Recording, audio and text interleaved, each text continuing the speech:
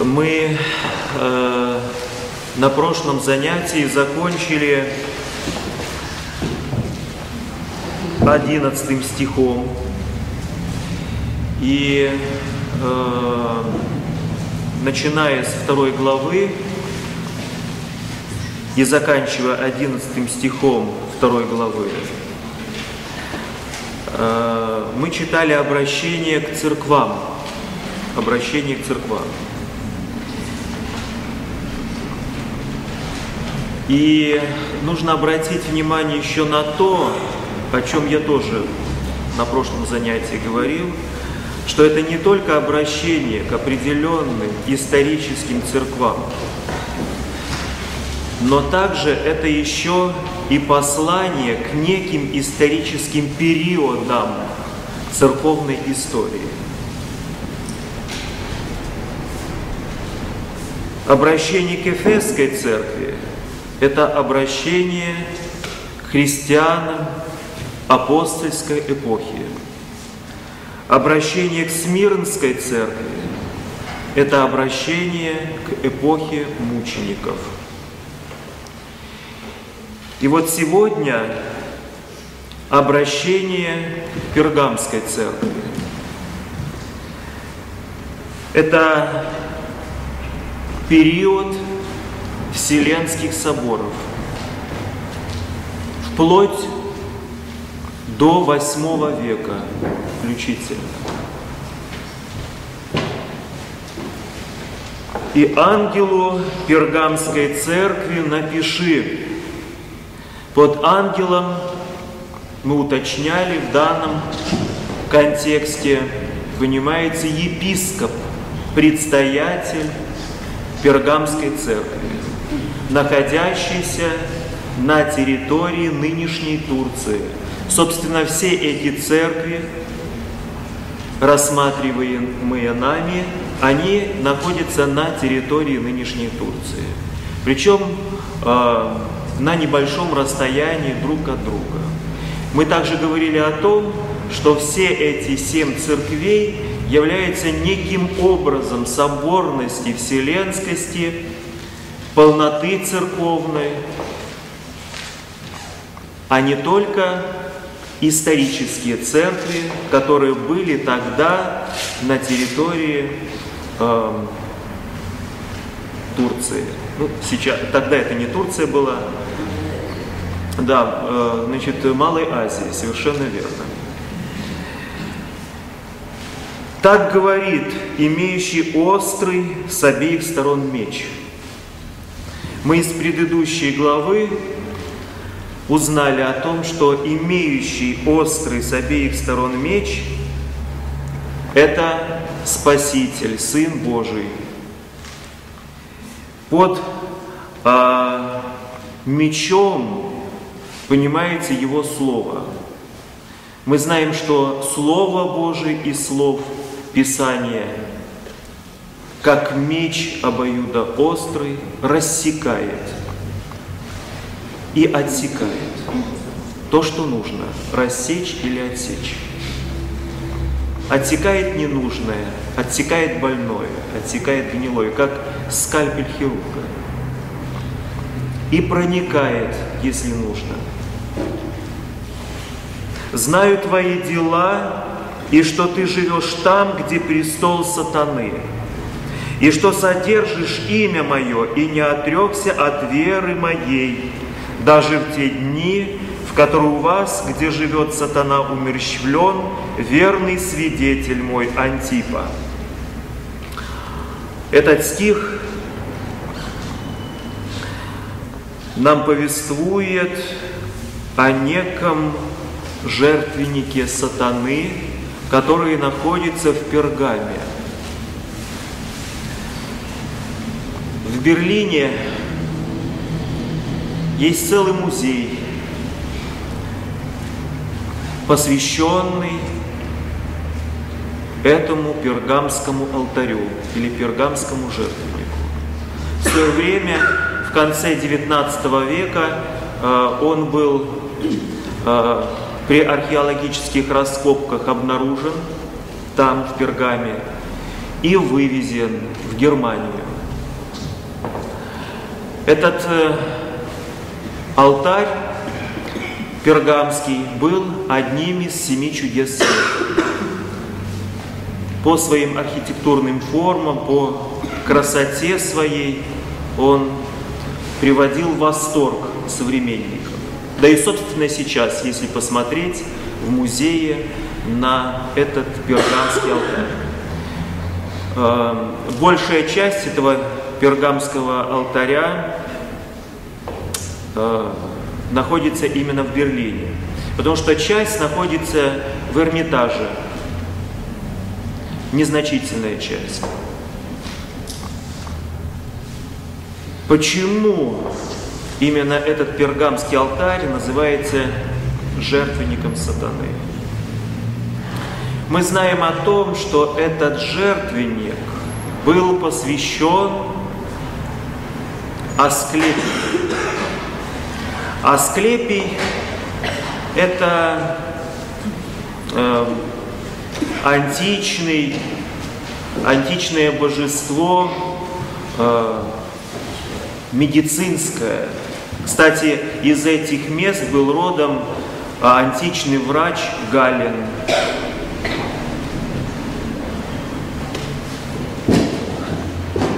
Барельефы, которые опоясывают архитектуру пергамского алтаря, действительно впечатляют. Так называемая теомахия с греческого языка борьба богов античных и титанов. Но самое впечатляющее, самое э, основное, наверное, почему Господь через Иоанна Богослова называет именно жертвенником сатаны, это место впоследствии еще стало причастно одному культу. В 29 году до Рождества Христова. Это времена э, императора Августа. Именно там, в малазийской части, впервые был провозглашен культ императора. Что это за культ? Культ императора обожествляет императора Рима. Именно этот культ стал причиной основных гонений во времена гонений на христиан. Потому что христиане отказывались почитать императора Рима как божество – они его почитали, готовы были преклоняться пред императором, что и делали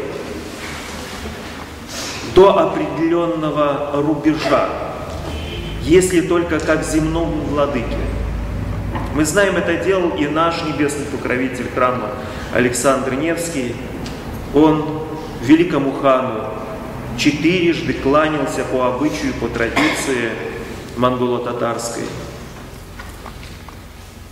но когда им говорили, что император – это Бог, и ему нужно кланяться как божеству, они отказывались. За что и подвергались мучениям от мучителей язычников. Дело в том, что империя сама по себе римская, и вообще любая другая империя – она была ориентирована все-таки на терпимость. Религиозную, культурную, этническую терпимость. И допускалось огромное количество всевозможных культов религиозных на территории империи. Но вот культ императора – это был особый культ. Я имею в виду, что наряду с э, огромным количеством религиозных культов э, э, Римская империя допускала поклонение и Христу в том числе.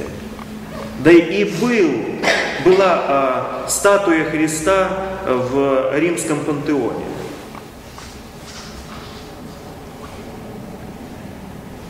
То есть проблема была не столько в том, что э, христиане поклонялись Христу, а в том, что они не хотели поклоняться основному божеству империи, императору.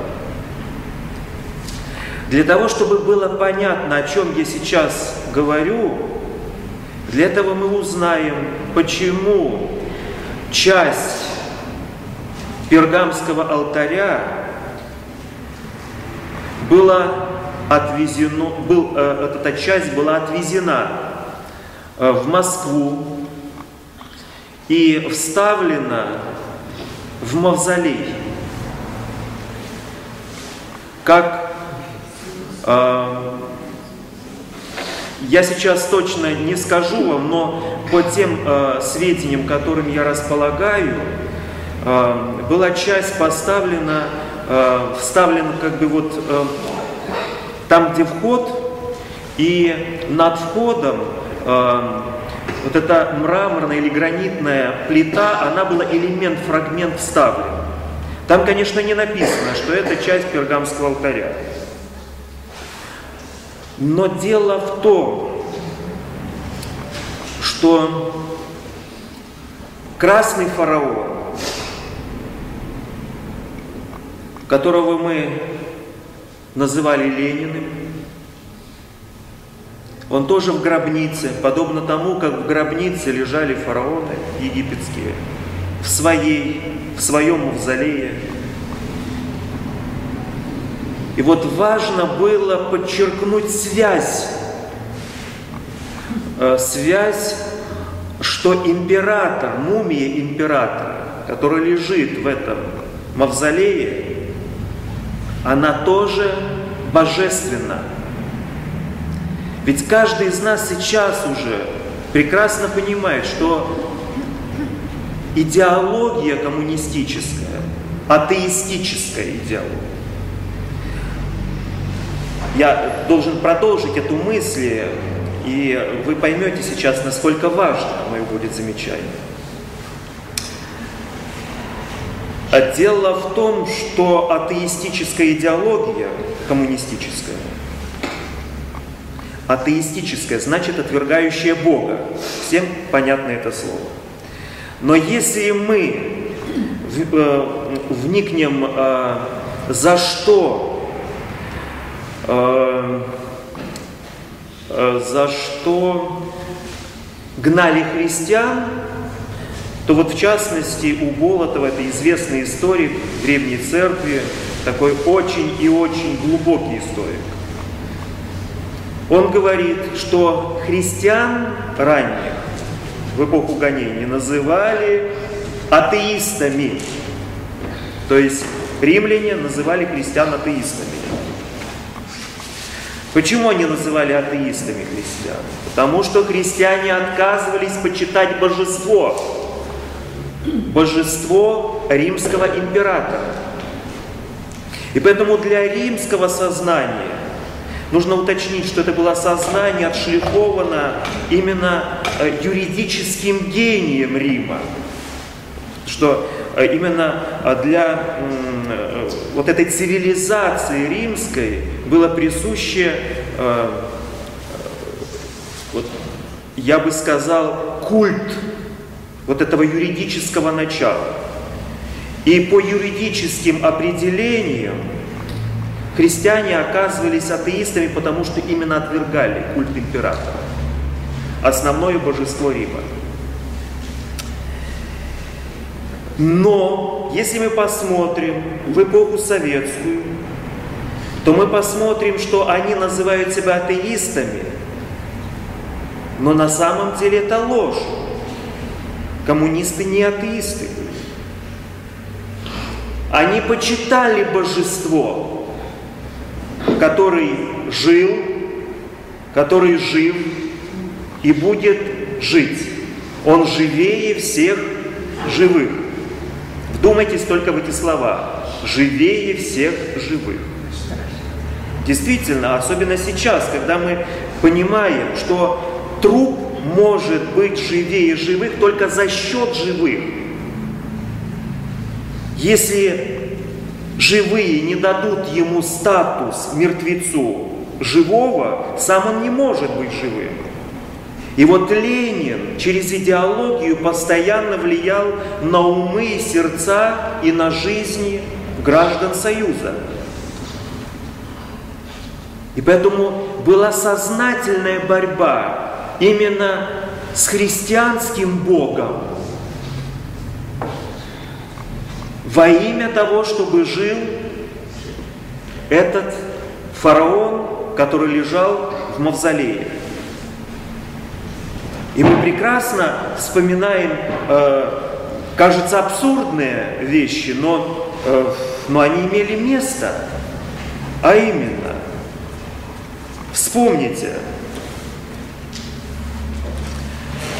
когда э, были эти э, безбожные от, э, э, пятилетки и выезжали с агитацией атеистической,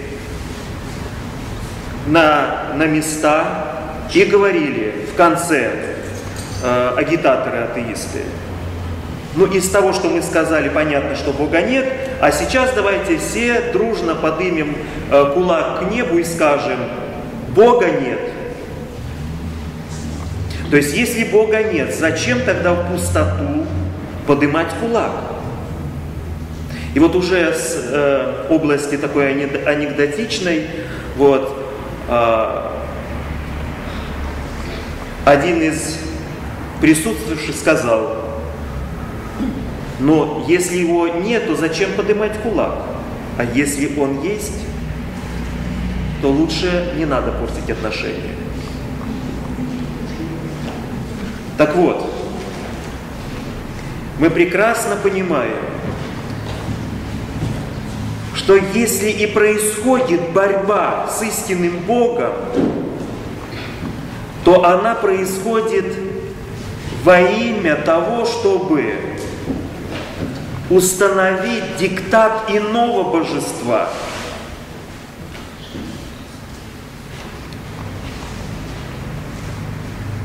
И вот этот жертвенник сатаны был интересен не только для советского правительства – как я уже сказал, что этот фрагмент был вставлен в мавзолей.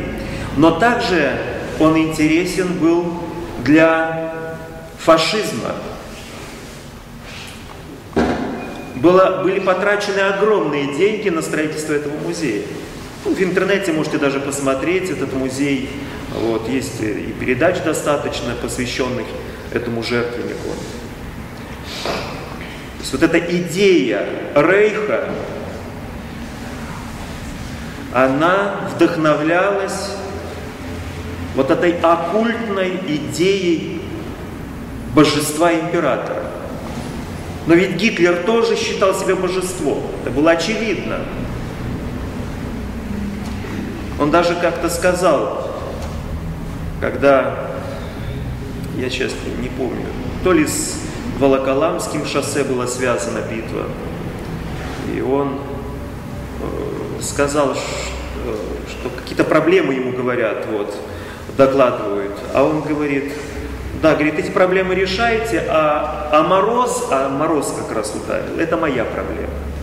То есть он считал, что все-таки он может влиять с помощью определенных оккультных э, технологий на э, погоду и так далее. Но он вошел в то измерение, где еще была жива молитва. Ведь помните, как вера укреплялась по мере именно вхождения э, фашистской армии на территорию нашей земли. Люди все более и более возвращались к истокам, раскаивались в тех грехах, которые они совершали против своего Бога.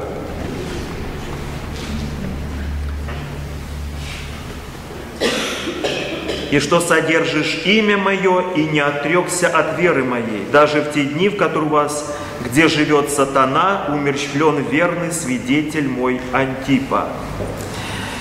И э, важный такой же важный символ Асклепия, он известный для вас всех, это э, змея, которая обвелась вокруг чаши. Это символ Асклепия, но э, в результате, э, потому что именно это был как бы э, храм, э, э, храм лечебницы.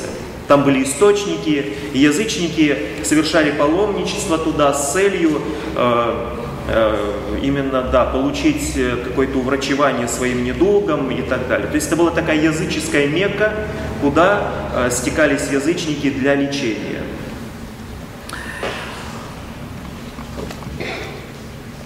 И змея всегда была символом мудрости, но не всегда мудрости истинной. Мы помним э, такой вот персонаж змеиный с первых строк книги «Бытия». Помните? Который обвился вокруг дерева познания в раю. Э, но, как бы я сказал, что это универсальный достаточно символ в связи с тем, что э, церковь тоже использует э, змею в качестве христианской мудрости. Вот если вы обратили внимание, жезл архиерея, вот, и две змеи вот, вокруг жезла. Ну, обратите когда-нибудь внимание. Почему? Потому что змея сама по себе это не есть сатана. Змея – это животное. И поэтому мы не можем отождествлять, ставить знак равенства. То есть использовал сатана этот образ для того, чтобы соблазнить Еву. И вот здесь мы э, обращаем внимание на то, что Господь похваляет пергамских христиан за верность и вот олицетворением этой верности Пергамской церкви был э, Антипа, святой Антипа, священномученик Пергамский, который в 93 году э, был умучен за э, Христа и называется свидетель верный. Вообще, конечно, свидетель э, – это слово, которое можно очень и очень много э, раз э, разбирать, касаться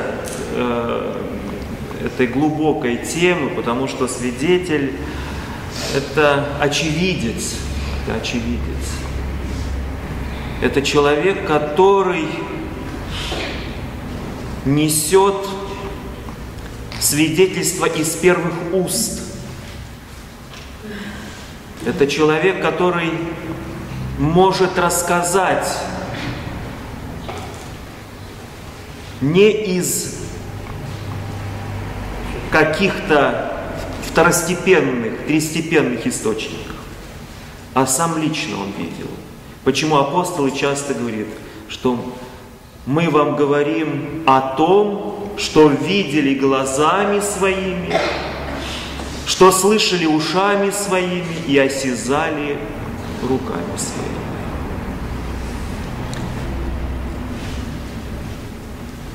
Паскаль однажды сказал, что я могу поверить тому человеку,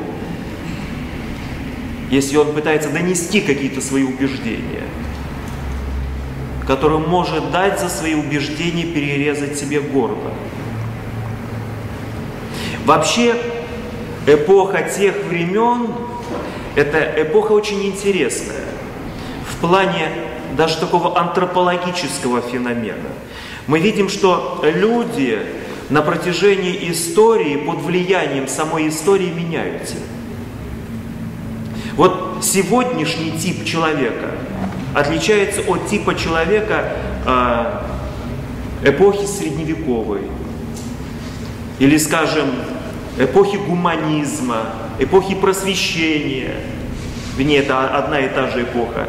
Э, я хотел сказать, э, Ренессанса. Это уже другая эпоха. Все эти эпохи, они налагают э, на человека некий отпечаток. Как, знаете, на воск можно отпечатать какой-то образ, так и на человека налагает определенная эпоха. Его мироощущение, он чувствует мир по-другому. Вот язычник, понимаете, ведь в чем еще проблема? В том, что э, христианин того времени, я в данном случае имею в виду и время мученичества, Э, гонений, эпохи гонений и эпохи Вселенских соборов. Э, это время, когда христианин э, был весьма в затруднительном положении. Что я имею в виду? Вот представьте себе, что язычники, которые еще, можно сказать, особенно и, и, и в эпоху Вселенских соборов, были достаточно близки по общению э, с христианами. Они были, э, то есть они не были уничтожены, искоренены полностью. Язычество было. А что говорить об эпохе гонений? Это э, подавляющий э, э, процент э, именно э, язычников. И вот язычники, они почитали определенные божества свои языческие. Но вот божества определенные языческие были неким олицетворением определенных стихий природы. Вот возьмем Титана античного, который носил имя, очень э, для нас знакомое, океан. Это э, второе поколение античных божеств греческих. Титан, океан. Понятное дело, что он олицетворял? Океан. Что? Океан. Воду. Или взять, а, это первобоги античные, Уранос и Гея. Уранос – это бог неба, Уранос на греческом языке – это небо, Гея – земля, что они олицетворяли? И так далее, и так далее, и так далее. Так вот, куда не, посмотри, не, не, не посмотрит христианин, он как бы везде соприкасался именно с вот этим культом языческих божеств. Ему тяжело было увидеть природу, все было настолько персонализировано языческими божествами, что Константин Великий вынужден был вообще уничтожать, по сути, под корень все святыни языческие. Потому что человек был окутан языческими божествами, э, были божества деревьев, а еще мелких духов огромное э, количество. Были э, духи, которые были связаны с конкретным деревом или с конкретным ручьем там, или конкретным очагом. То есть за всем физическим материальным миром стояли боги, титаны или духи. И по сути все было обожествлено. Язычники всему этому кланялись. И у христианина был огромный риск. Если ему а, а, нужно было как-то вступать в связь с природой, я имею в виду нормальную, обычную связь, а, скажем, войти в ручей. Вот для язычника войти в ручей или в море, он должен был что сделать прежде всего? Попросить разрешения. Представляете, как, какой мир был? Очень сложный был мир. И э, велась разъяснительная работа. То есть язычнику нужно было объяснить. Тем более, э, проблема не только в неверии была или в маловерии. А еще была проблема всегда, это мы когда-то изучали, когда в Ветхом Завете э, изучали э, э, Писание Ветхого Завета. Еще проблема двоеверия, например. Или троеверия еще. Многоверие. Когда человек обладал э, истинной верой, то есть он верил во Христа, в Пресвятую Троицу, но помимо он верил еще и в какие-то мелкие божества. Настолько было помрачено сознание древнего человека. Было ему тяжело выйти из этой зависимости. Да и сейчас. Во что только наш современный христианин не верит. Начиная с уринотерапии и заканчивая вселенским разумом. Во все верит. И самое основное выражение сегодняшней веры, ну человеку уж нужно во что-то верить. Помните, как говорит глубокомысленно наш современник? Во что-то верить. То есть получается, что христианин не определился, во что ему верить. Для него символ веры еще ни о чем не рассказал.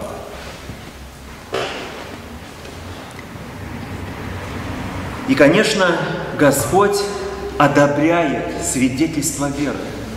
Потому что тот, кто может, как мы уже говорили, дать себе перерезать горло, должен обладать огромным убеждением своей веры в то, во что он верит.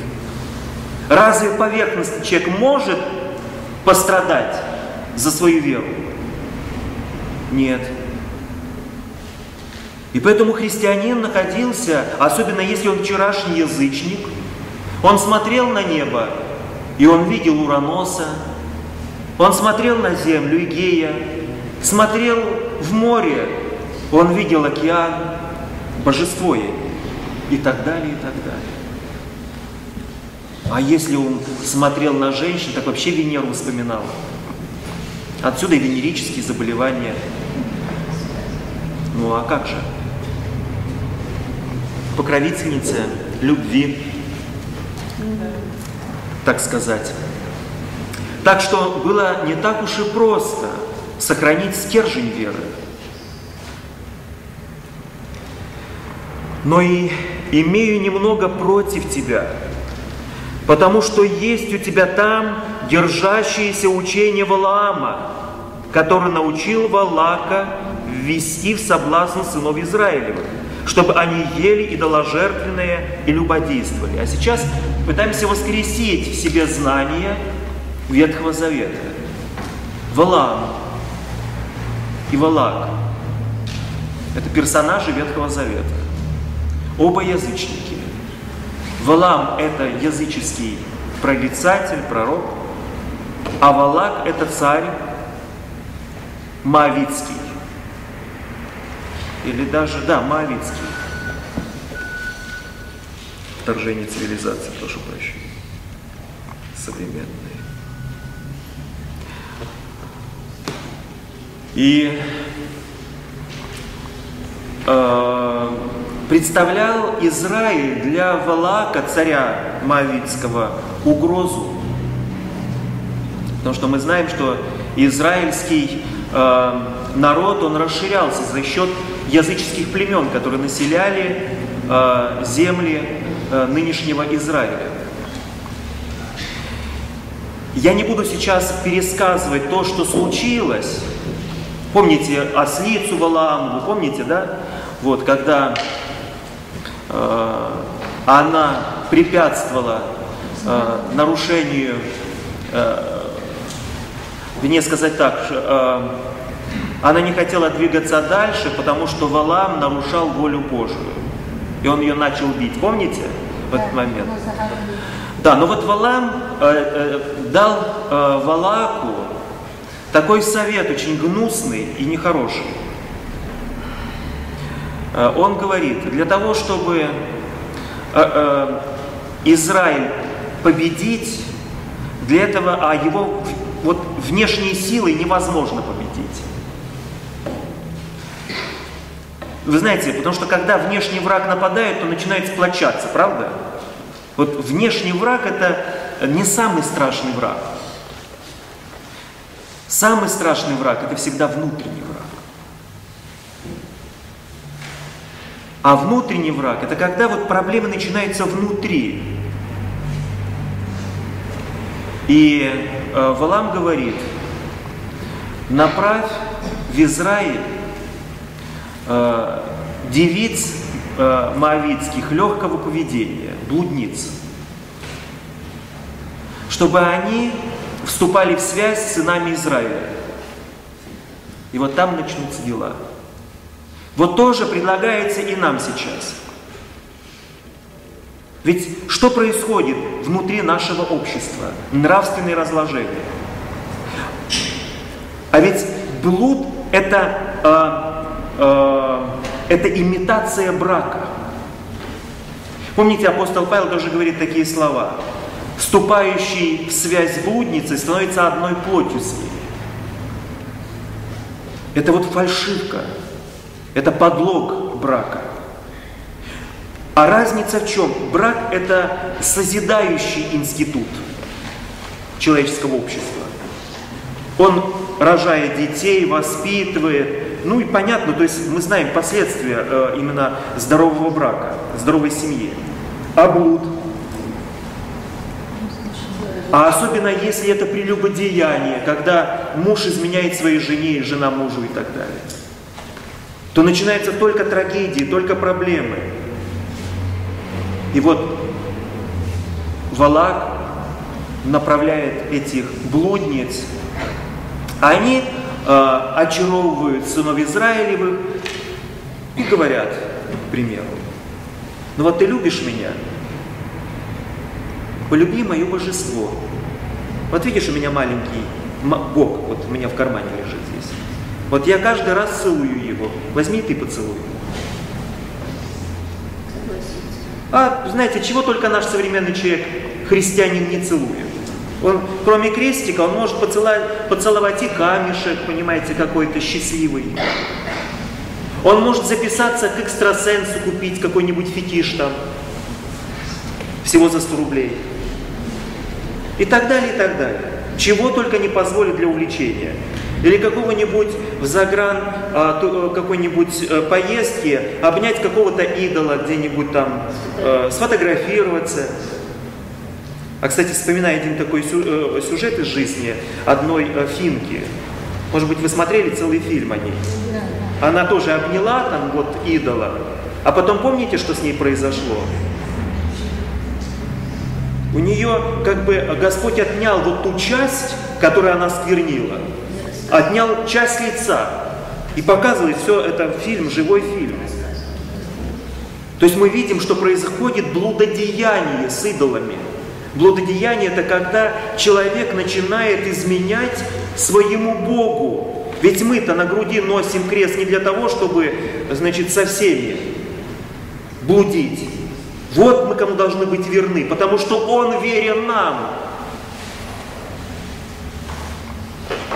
Поэтому не должно быть двоеверия и так далее. Э, научил Валака вести соблазн сынов Израилевых, чтобы они ели идоложертвенное и любодействовали. Так и у тебя есть держащиеся учения Николаитов, которые я ненавижу. Вот видите, я вновь подчеркну этот момент, потому что в каждом послании к церквам он говорит, я ненавижу это учение. Это Господь говорит. Где здесь политкорректность со, со стороны Бога? Где здесь толерантность американская, европейская? Ну вы знаете, ко всем нужно быть толерантными и так далее.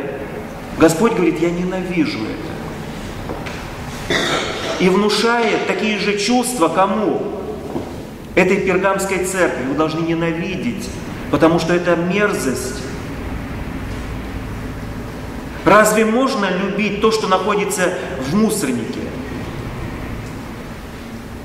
А ведь именно в осадок выпали бесы. Они оказались в мусорнике бытия. Где они находятся? Ниже своего предназначения, потому что Деница, вспомните, как в переводе, утренняя звезда, Люцифер. Вот слово э, Люцифер светоносный в переводе. Вот на э, латинских языках так и звучит свет. И люкс вот отсюда, и, э, то есть это просто разные произношения в разных языках латинского происхождения. Он был светоносным. А разве вот там это место его предназначения или он должен быть там? Поэтому сам человек отказался от того, к чему его Бог призвал. Если нас Бог призывает к светлой жизни, а мы говорим, нет, нет, нет, мы лучше вот там. Это разве связано с смирением? Это не смирением связано. Это с похотью связано. Потому что смирен человек – это не тот человек, который избирает свой собственный путь, а избирает тот путь, который Бог ему дает. Почему называется призвание? Бог призывает человека – И мы говорили о том, что э, вот эти антропологические особенности каждой эпохи налицо. Сегодня на, а, что можно сказать о современном человеке? Это как раз человек, который а, свое, вот мое мнение, каждый должен иметь а, право на свое мнение и так далее. Да дело не, ничего здесь как бы с одной стороны плохого нет, что каждый человек имеет право иметь свое мнение. Но проблема начинается в том, что человек свое мнение начинает культивировать, и каждый старается быть таким вот микробашком. То есть возвращается тот же языческий мир, когда было огромное количество, как я уже сказал, божеств, титанов, духов и так далее, все это царствовало. А сейчас человек говорит, нет, прошла эпоха мифов, прошла эпоха средних веков, то есть христианства, Сейчас мы, мы божества. И вот каждый человек это Бог. Сейчас самое основное, на чем делают акцент э, э, вот, э, люди, проживающие э, именно в Европе, в Америке, это, это права свобод всевозможных. Вплоть до самых безнравственных и кощунственных и богохульных. То, что мы знаем сейчас. Батюшка, а кто такие Николаиты? Николаиты – это гностики, или такая полугностическая э, религиозная э, система. Гностики – это эм, э, общее такое определение для многих сект э, того времени, я имею в виду э, второго века, смысл, о, э, смысл гностицизма в том, что они считали, что обладает особым гнозисом. Это знание в переводе с греческого языка. Особым знанием, которым э, могут обладать только посвященные, особые посвященные. Вот современная такая, скажем, секта э, гностического толка – это масоны. Это тоже гностическая, это как бы э, ее как бы нельзя определить полностью, что она гностическая, потому что она по сути уже и сатанинская. Она по-другому называется, я не слышу, нас были. Но э, у, нас, у нас она не распространена. Но вот взять, скажем, в Европе, они совершенно легально существуют. Вот, например, конечно, вот масонский храм стоит на определенной улице, так и написано, что это масонский храм. Туда каждый может зайти. Это как бы не является для европейского человека проблемой. Для нас, э, слава Богу, что нет этих святилищ. Ну, тайные. У нас тайные, да. Что-что? Масоны есть, конечно. Вот. Но нужно понимать, что а, проблема не в масонах. Потому что есть определенная крайность в нашем христианском сознании сейчас, что винят во всем масонов. Винить нужно в основном себя. Почему? Потому что проблема не в том, что есть какие-то секты, а проблема в том, что мы, христиане, потеряли иммунитет благодати. Мы теряем устойчивость в Боге. А всегда существовали какие-то системы антихристианские. Но проблема именно в том, что мы соблазняемся, а то, что это всегда было. И мы не должны этого бояться. И апостол говорит, наша брань не против плоти и крови, А масоны это плоть и кровь, это такие же люди, как мы, находящиеся в заблуждении. Наша война, брань против духов злобы, вот кто наш враг. Они такие же люди. Конечно, мы должны вести дискуссии и так далее, что и ведется, э, что и делает церковь. Но не надо говорить о том, что э, у нас такие везде проблемы в церкви, потому что работают масоны. Они работают, в этом их заслуга. А то, что мы плохо работаем, это наш недостаток. Поэтому всегда нужно на это обращать внимание. Почему Николаиты?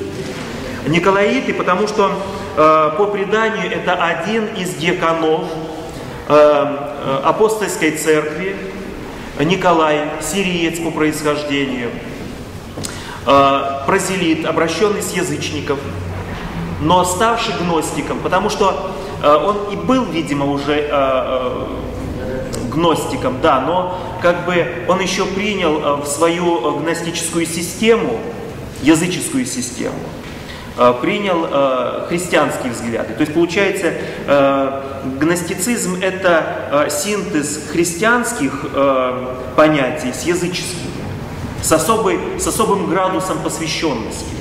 То есть это гностицизм. Вот. А Николаиты вот такая вот мерзость. И они допускали в своих собраниях разврат крайне там, то есть очень страшные вещи. Что и вообще э, было характерно для э, язычников. Там. Вот, насколько мне известно, э, именно в Феатирской церкви, э, по-моему, именно там был развит культ Диониса. Там э, э, в смысле не в самой церкви, а, а э, именно в Феатире. Э, а вы знаете Дионис, дионисийские оргии, вот, они очень описаны красочно. То есть культ был культ э, бога винодела, Диониса или Януса, вот, э, в другой арфет, что? Бахус, да, вот. И поэтому э, как бы вот такие вот вещи там происходили. То есть это все имело влияние на христиан того времени, как сейчас современность имеет влияние на нас. Вот э, я дал э, время покаяться в любодеянии, но она не покаялась. Простите, я что-то не то читаю. Не-не-не, это, э, секундочку, я на другую церковь перешел. Да, 16 Это пергамскую мы читаем, я на феатирскую, да. «Покайся, а если не так, скоро приду к тебе и сражусь с ними мечом уст моих». Имеющий ухо слышит, да слышит, что Дух говорит церквам. Побеждающему дам вкушать сокровенную манну, и дам ему белый камень, и на камне написанное новое имя, которого никто не знает, кроме того, кто получает. Эм, как бы я многие детали не буду комментировать, потому что они достаточно как бы понятны.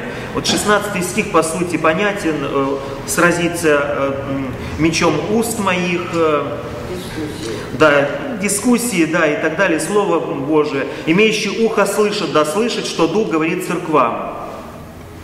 Побеждающему дам вкушать сокровенную ману. Вот это опять акцентуация на то, что побеждающим. Вы обратили внимание, что в предыдущих концовках э, посланий тоже было побеждающим. То есть Господь любит борющегося человека, который побеждает. Господь скажет к Лаодикийской церкви такое обращение. Ты не холоден и не горяч, ты теплохладен, ты не, ты не то не все. Ты не можешь побеждать. Накажет Совершенно верно. Побеждающий человек. Помните, подвижниками называются наши. А, потом мученики – это стойкие люди. Такие эпоха Вселенских соборов. Они смогли противостоять не только еретикам, но и христианским императорам, я имею в виду э, святые э, периода Вселенских соборов, потому что императоры не всегда были благочестивы, как Константин. Потому что всякие были императоры, даже называющие себя христианскими императорами. И что же они делали? Империю нужно было удерживать. А когда ее раздирали, постоянные споры между христианами, это и ариане, и несториане, монофизиты и так далее, и так далее, монофилиты. Вот этот символ веры, который мы имеем, это э, символ, который появился как выражение нашей веры для всей истории церкви. То есть он был создан именно в этот период Пергамской церкви. И сколько нужно было стойкости, чтобы выдержать натиск со стороны еретиков и со стороны императоров, потому что им нужно было удерживать, как я уже сказал, империю в спокойствии. И они пытались найти какие-то э, э, пути примирения еретиков и э, церкви истинной. И, конечно же, многие поддавались, соблазнялись власти имущих. Но самое важное – это чистота веры. Потому что чистота веры – это чистота Слова Божия, которое Господь обращает к человеку. Именно Слово Божие спасает человека. А если он уже в конечном счете имеет не Слово Божие, а Слово человеческое, или хуже еще изобретение какое-то сатанинское, искажение Слова Божия, так он уже не спасается, он уже погибает, потому что он не Бога слышит, а он слышит каких-то туманных посредников. И поэтому здесь вот нужно понимать, что было время нелегкое, было тяжелое время, стояние в вере. До сих пор мы читаем символ веры, как исповедание своих убеждений религиозных. Сплошная мудрость. Сплошная мудрость, причем очень лаконично выраженная. Это как раз вот тот случай, когда можно сказать, что э, э, кратость сестра таланта при наличии последнего. Вот это как раз был талант церкви выражен. А кто написал? Сергей Забор. Ну, меня забор. авторство очень соборное, очень много. На протяжении, э, получается, с 4 века по 8 век длились э, семь вселенских соборов. Это, конечно, объемный материал, мы сейчас не можем вообще об этом говорить. Я только скажу вам о том, что это важный период в истории церкви. Они прорабатывают все это. долго. Конечно. Это огромные материалы сохранились, протоколы этих соборов. У меня, к счастью, есть эти материалы. И э, как бы... Написано, что кто-то вот символ веры написал даже. Одного Нет, нет, ну что, нет, нет. Этот кто-то, это церковь. Это да.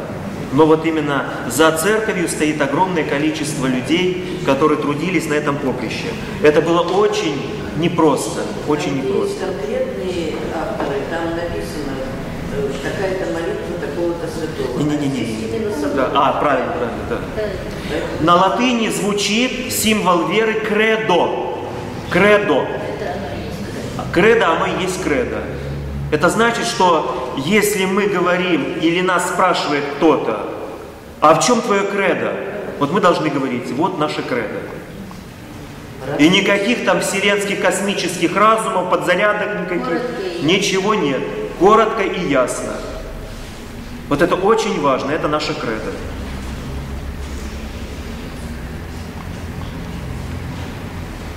Э, Побеждающему дам вкушать сокровенную манну. Почему побеждающему дам вкушать сокровенную манну? Ведь манна, вот помните манна еще та, которая... Да, вот интересно, э, Катерина Трофимовна, спаси Господь. Вкусная. Да. Вкусная. Она вкусная, знаете, почему она была вкусная? Потому что по э, по преданию, да, каждый вкушающий испытывал тот вкус, который ему был нужен. Желающий соленое, значит соленое, острое, острое. Так что не нужно было никаких специй, ничего. Все было, так сказать, в одном меню. Да, манна совершенно верно, один день. Манна в переводе с, евре- с еврейского языка, манна, они говорили, что это? Они не могли понять, что это. Потому что это что, оно приходило с неба, от Бога. Каждый день у евреев меню было вот такое, с неба. Вот здесь действительно можно назвать Бога официантом, который обслуживал еврейский народ. Вот представляете, какая любовь Бога к человеку? Дать каждый день хлеб насущный. Причем каждому гурману еврейскому. По потребности, по вкусовым рецепторам. Да? Что? Возьмешь лишнее, испортится. Лишнее, да. На субботу на воскресенье не портится. Совершенно верно. Да и лишнее, если возьмешь сюда, оно точно не принесет пользы. Оно обязательно будет подпарчивать человека.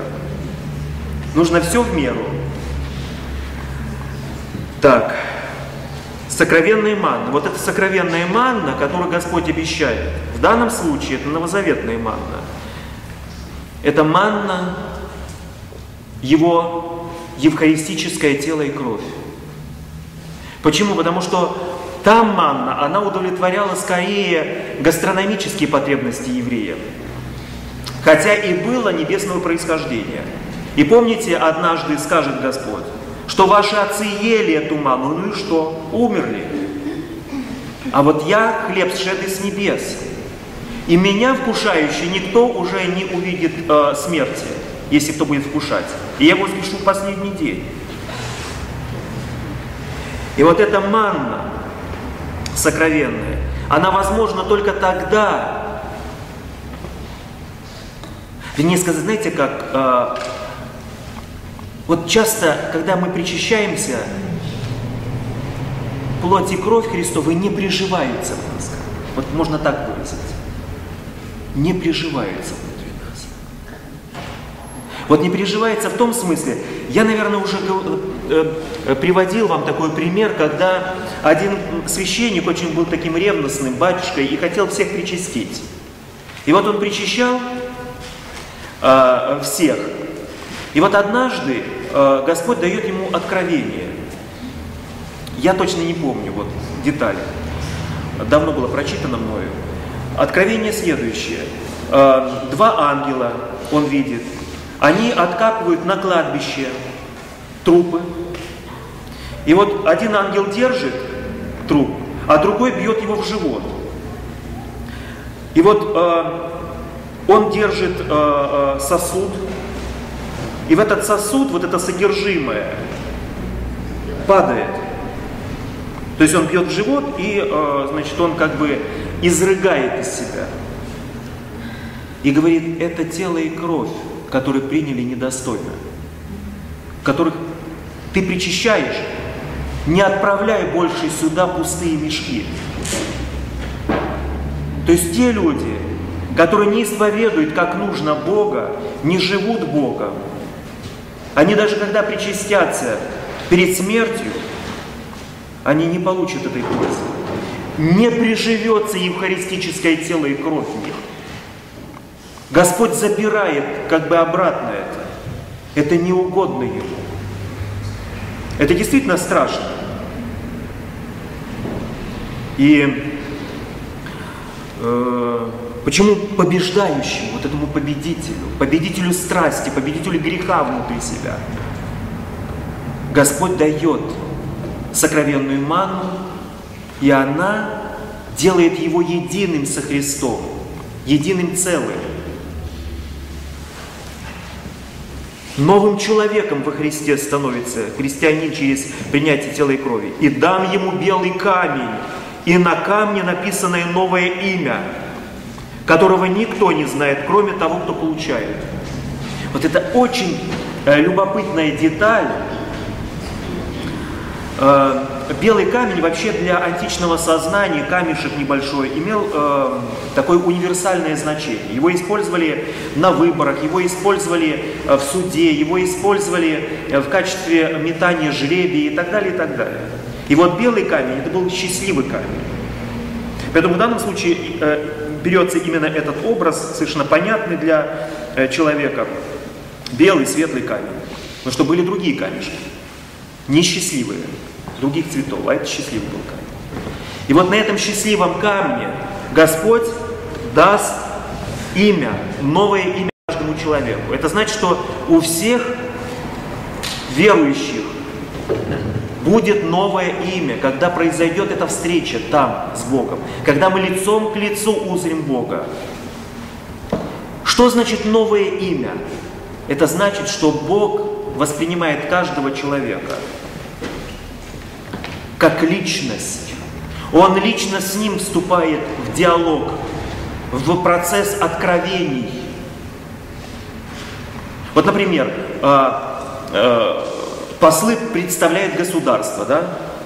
Не с каждым же человеком э, ведутся переговоры, а с послами. Или непосредственно уже с главами государства. Но поскольку каждый из предыдущих текстов мы видели, э, что станет царем и священником, царственное достоинство каждый человек будет иметь. Не будет серой массы, не будет вот этой э, возни с демократией. То есть будет обращен, обращенность Бога каждому человеку. Каждого, каждому человеку Бог даст свое имя, потому что все имена, которые мы имели, э, нарекает кто? Человек. Э, Вначале человек родился, ему дали имя, потом крестился, дали имя. Ну, бывает, что сразу дают имя. А потом монашество принял, новое имя. Потом э, принял схимонашество, еще одно имя и так далее, и так далее. Но все эти имена дают люди, а здесь Бог даст имя. Наречет имя. Помните интересную деталь, что Адам дал жене имя, Ева. Адам нарек имена животным, а здесь Бог даст каждому человеку имя.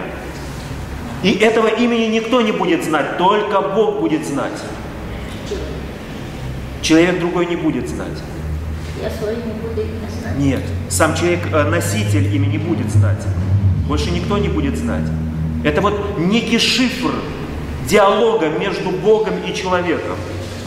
Это такая глубина, которую мы даже постигнуть не можем и себе представить не можем. Что это будет? Невероятно. Да,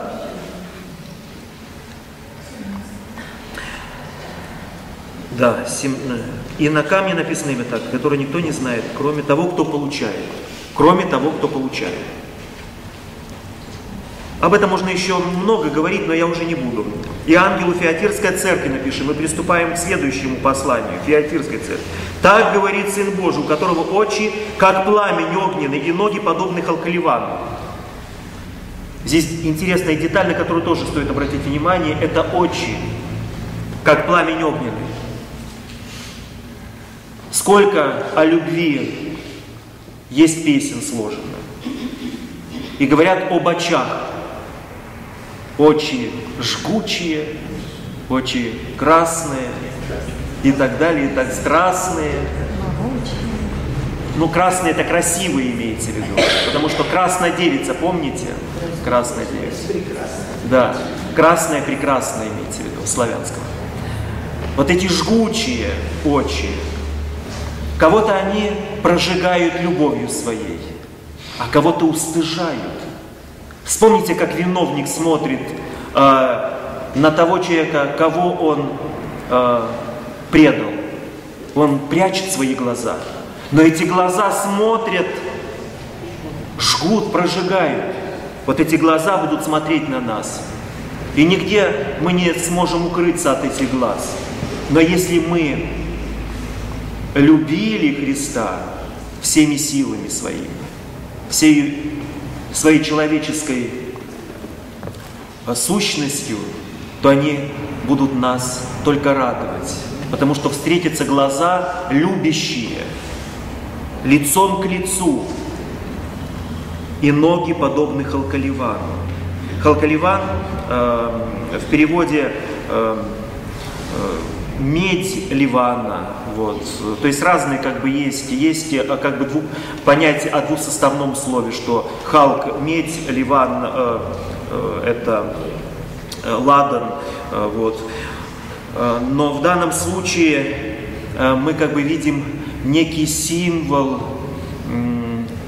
знаете, вот как уголь в кадильнице.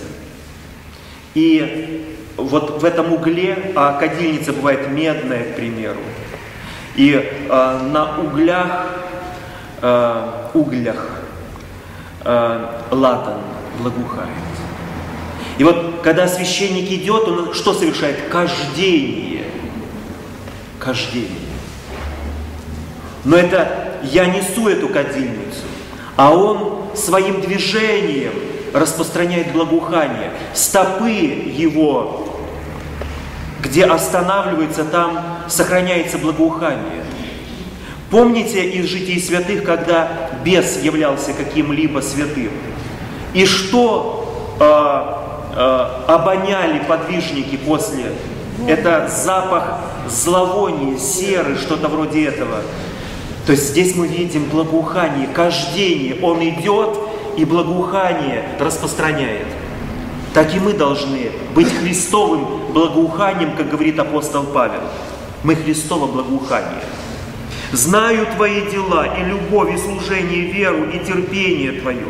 Поощряет эти э, добродетели, что последние дела твои будут э, твои больше первых. Это очень важно, когда последние дела больше первых. Хуже, когда первые дела лучше последних. Это хуже. Почему? Потому что здесь мы видим э, некую прогрессию совершенства. То есть вначале как младенец, потом как юноша поступает, то есть не так зрело.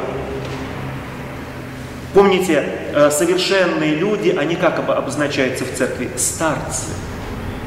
На греческом языке старец презвитерос. Еще есть одно слово – геронда, греческое слово. Но презвитерос – это еще и священник. То есть старец, достигший некого совершенства.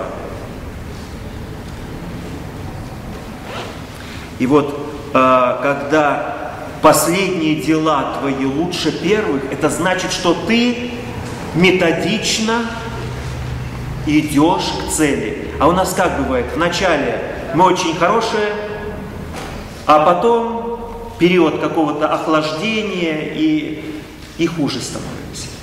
Вот здесь мы не просматриваем именно вот этой методичности пути к Богу. Мы должны лучше становиться но имею немного против тебя, потому что ты попускаешь жене Иезавели, это жена Ахава, царя Израильского, скверная была тетка. И вот эта женщина соблазнила Ахава, царя, царя Израильского, самоязычница была, на то, чтобы он устанавливал везде э, жертвенники идолам. Это были э, Астарти, Ваалу, то есть очень мерзостные языческие культы. То есть, по сути, израильский народ впал поголовно в эти страшные сатанинские культы. И вот появилась некая новая Иезавель, это скверная. Это помните период какого святого известного? Пророка Илии. Как он э, жрецов Валовых которые были э, э, поддерживаемые именно Иезавелью, как он наказал их, помните? Шок, Он, он, да, он и жег, когда они э, приносили, э, э, когда они приносили свои молитвы, так называемые Ваалу. Ваал, услыши нас, помните, и огонь не сошел на их жертвенник, и сошел на жертвенник Илии, который был весь в воде, то есть его естественным путем нельзя было разжечь. Тут настоящее было чудо. Не было никакого подлога. Это все было во времена Иезавели, этой скверной женщины. Э, называющей себя пророчицей.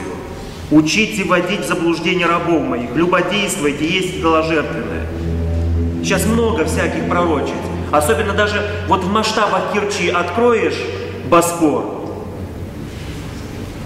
Понимаете, и тучи руками разведут, и все что угодно. Всего там за 100 гривен, например, или 200. И предскажут, какой бизнес будет, успешный или неуспешный. Снимут любую порчу. Вот таких пророчеств сейчас очень много стало. И это все мерзость перед Богом. И такие благостные лица у этих женщин, в платочках, обязательно на фоне креста. Там еще даже на фоне митрополита одна сфотографировалась. Послать бы митрополиту, чтобы он увидел. Это кубанский митрополит.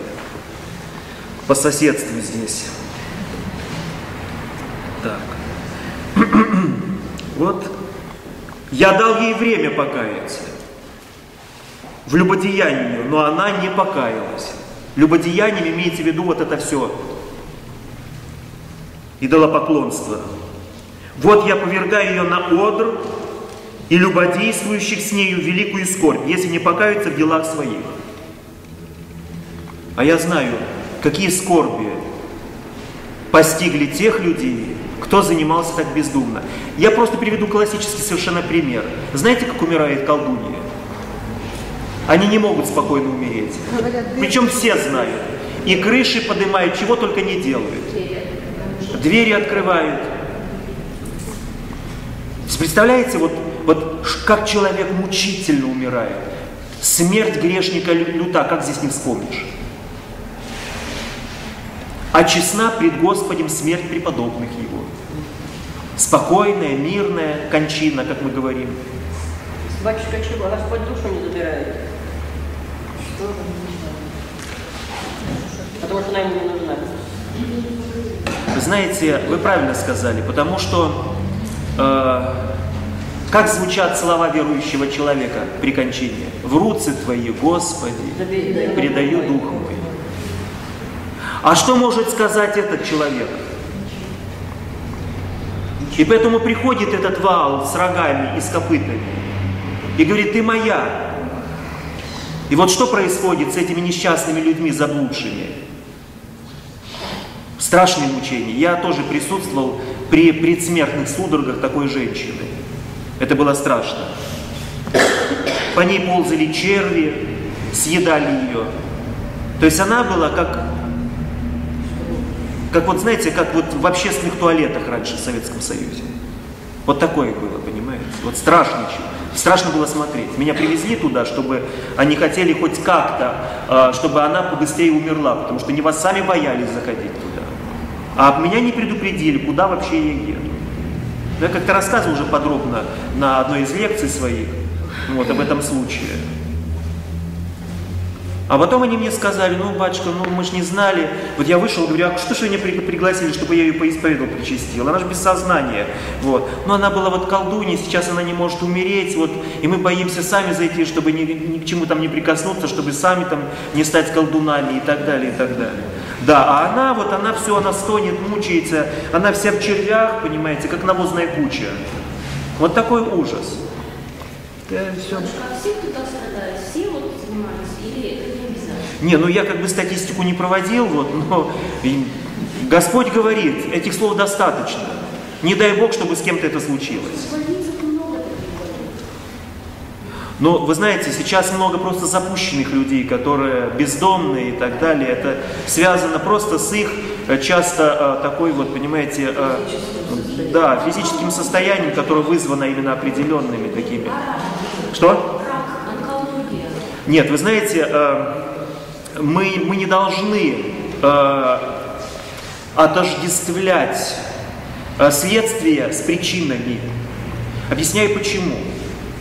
Потому что вот причина может быть разная, да, а симптом одинаковый. То есть может э, быть, э, э, ну тот же даже, э, приведу евангельский э, пример, когда горбатая женщина, помните, сагбенная, что было причиной ее сагбенности? Именно связал ее, говорит Спаситель Сатана, и она была связана 18 лет, она была в этом э, недуге. Но может быть совершенно естественная причина, какой-то остеохондроз и так далее, и так далее. Поэтому симптом один, а причин может быть разных. У каждого человека своя причина. Поэтому если мы только станем э, э, говорить, что причина тождественна следствию, мы очень можем далеко зайти в своих э, неправильных выводах.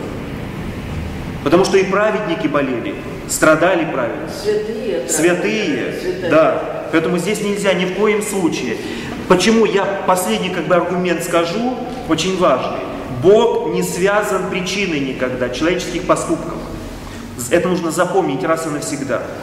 Человек может натворить всякое, но если человек покается, то Господь освободит человека от причины которое может породить очень нехорошее следствие. В этом и именно глубина, глубина э, именно великого дара покаяния. Это величайшее лекарство. Ведь понимаете, э, в каком мире жил раньше человек? В причинно-следственных отношениях. То есть есть причина, есть следствие. А Бог говорит, нет, ты согрешил, покайся, я тебя освобожу от этого греха. Поэтому помните, один из современных старцев сказал, Бог нам оставил в дар покаяния. По-моему, Никон Воробьев какой, да, старец вот? Да, это великий дар покаяния. Потому что ни одна религиозная система не знает понятия покаяния. Ни одна. Знает только причинно-следственные кармы и так далее, и так далее. Все далеко именно от того, что от свободы. Значит, дальше идем.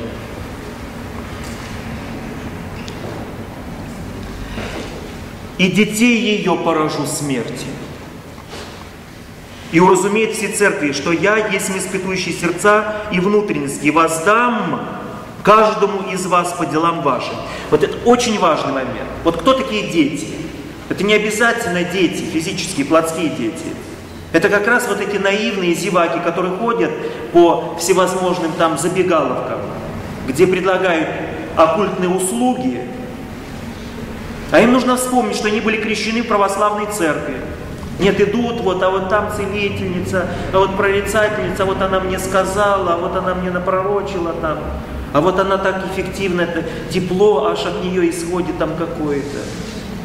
Вот понимаете, вот эти дети наивные тоже бывают наказываемы. Потому что все-таки они взрослые люди, но ведут себя как дети неразумные. И так быстро позволяет всем возложить на свои головы руки. Они что, знаете как, пасы всевозможные, манипуляции с нашим современным человеком производят. И в результате потом приходит уже в церковь, когда уже все отказало. И говорит, ой, батюшка, а что ж мне делать? Что делать? Каяться. Вот что нужно делать. Потому что покаяние это самое важное, что мы должны сделать. А там уже Бог разберется. Или оставить болезнь во искупление греха. Помните, как э, апостол говорит, предать дух сатане, да дух, э, предать тело сатане, да дух спасется. Чтобы иногда сатана мучил и удручал тело, чтобы спасся дух. А иногда Господь освобождает. Поэтому нужно покаяться перед Богом, потому что Бог источник всего и вся.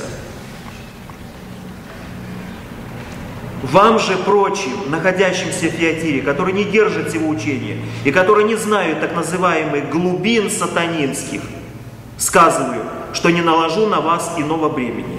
Вот эти сатанинские глубины – это то, во что так любит сейчас вникать.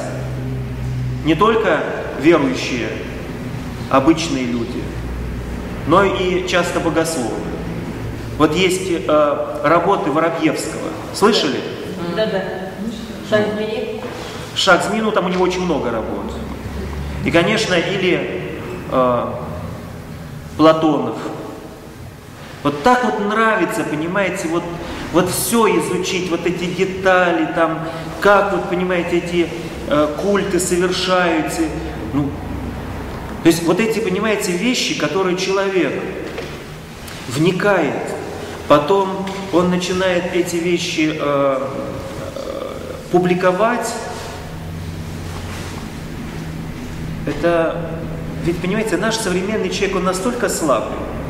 Ведь даже те фобии, кодофобии, которых сейчас так много, вот вообще все вот это фобии, фобии, фобии. А фобия, как известно, это один из признаков душевной болезни.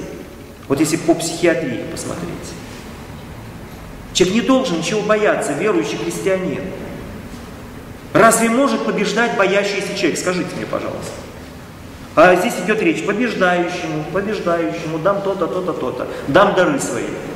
А какой же он может быть победитель, если он весь в страхе? Ну давайте пойдем воевать со страхом в душе против какого-то врага. Так это по определению поражение. Это вообще, это даже не нужно рыпаться. И вот эти все нагнетания, вот эти страхов, нам не надо это знать, нам нужно знать свою веру, кредо нужно знать нам. Потому что нам Господь говорит о надежде, в этом падшем мире. Если мы будем верить во Христа, если будем поступать по Его заповеди.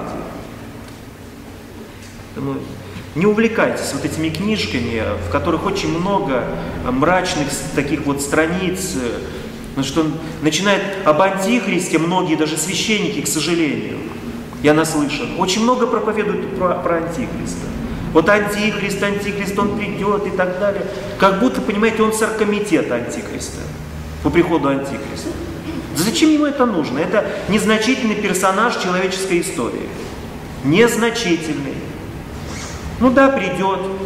Ну так что, что он придет? Много уже до него приходило антихристов.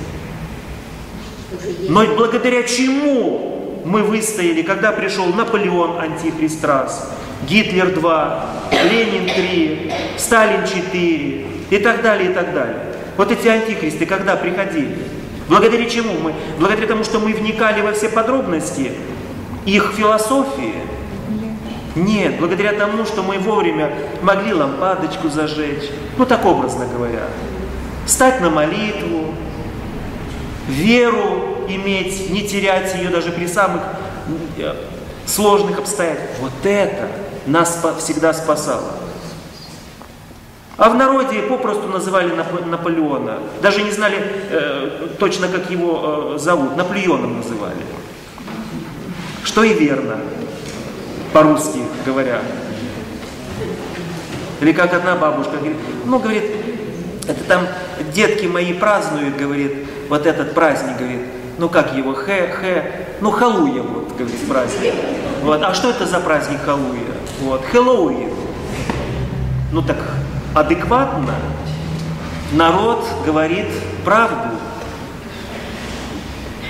Поэтому нам не нужно вот знать каких-то подробностей. веру иметь. Э, учение. Вы напоминайте мне стих, пожалуйста, говорите, потому что я сбиваюсь. Только то, что имеете, держите, пока приду. А что имеете? Для эпохи Вселенских соборов это как раз кредо. Вот этот символ веры нужно держать, не надо никаких глубин сатанинских, вникать в них. Апостол Павел в первом послании Коринфянам, 2 глава, 10 стих говорит о глубинах Божиих. Нам не нужны глубины сатанинские, нам нужны глубины Божьи. Вот что нам нужно. Потому что глубина сатанинская еще как называется? Бездной. А бездна это значит, что человек, если туда начнет падать, почему и называется, когда мы в грех, падаем. Падаем куда? пространство без дна. Это самое страшное падение. То есть дна человек не ощутит. Он будет ощущать по прелести вечное искушение полетом. Но на самом деле этот полет будет вниз. Вечное падение. Вечное падение. Вот эта бездна сатанинская, мы ее должны отвергать. Не должны вникать в нее. Кто побеждает и соблюдает дела мои до конца, тому дам власть над язычниками. Вот обратите внимание. А ведь действительно, что произошло в средние века? Ведь в средние века церковь распространилась невероятно. Это и Западная Европа. Это, то есть она вышла за пределы Римской империи. То есть мы знаем, что апостольская церковь она распространялась на территории Римской империи. Но не вся Рим, не, а, э, Римская империя, она а, не охватывала а, значительную часть Европы.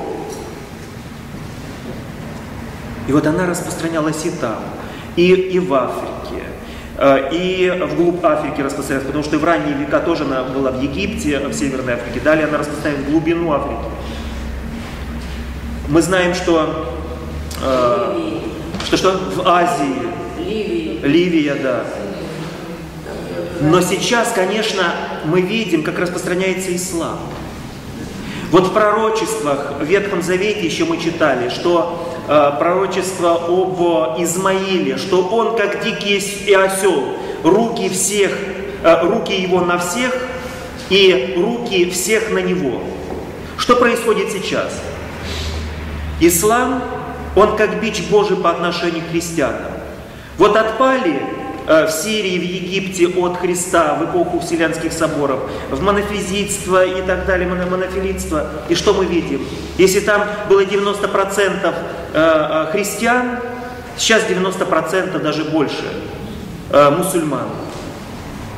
Незначительная часть значит, христиан. Да и в Европу мы сейчас смотрим. Именно проникает что? Ислам. Это бич для христиан. Но бич, уничтожающий именно физически, внешне. Внутренне, если мы только собираемся внутренне, мы не победим. Но только расслабляемся, теряем внутренность, веру нашу, все, они начинают овладевать нами.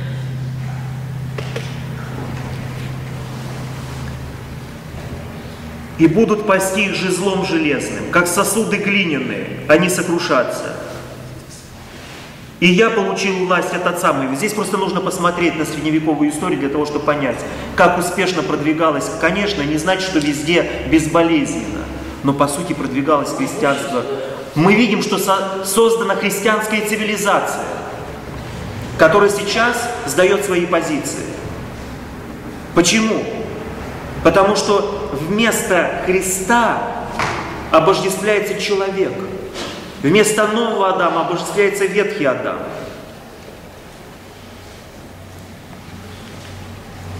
И дам ему звезду утреннюю, побеждающую.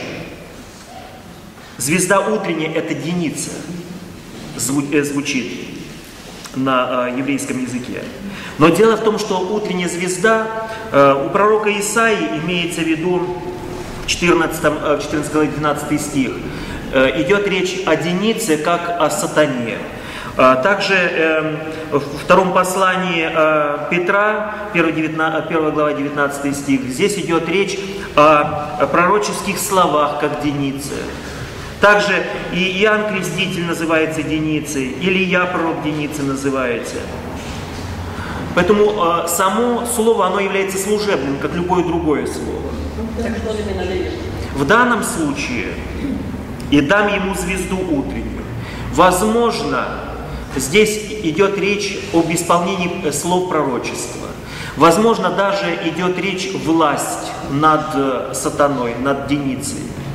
То есть и то, и то, в принципе, в контексте Писания мы можем допустить. Поэтому однозначного толкования на это место нет. Имеющий ухо слышит, да слышит, что Дух говорит церквам. И мне очень хотелось бы еще э, или мы так не будем уже, да? Все. Тогда э, мы только закончили сегодня вторую главу. Вот это прошло полтора часа. Э, Феатирская – это эпоха Средневековья. Это Средневековье.